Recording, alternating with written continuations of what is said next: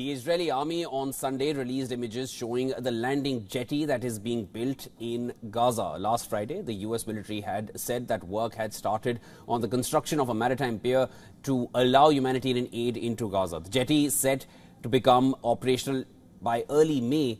And White House National Security spokesperson John Kirby said that Israel has started to meet the commitments that U.S. President Biden asked them to meet. The pier is part of these commitments.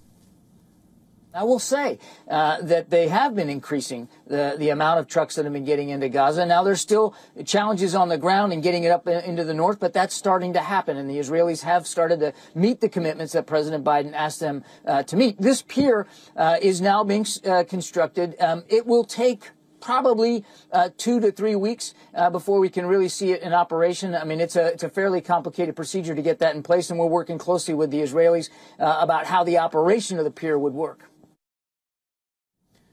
Earlier this month, Biden told Prime Minister Benjamin Netanyahu to protect Palestinian civilians and foreign aid workers in Gaza, or Washington would rein in support for Israel in its war against Hamas militants.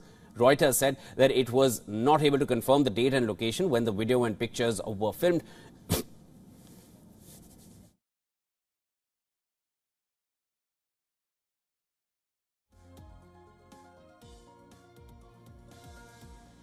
In March, President Joe Biden announced that the military would build a temporary port on Gaza's Mediterranean coast to receive humanitarian aid by sea.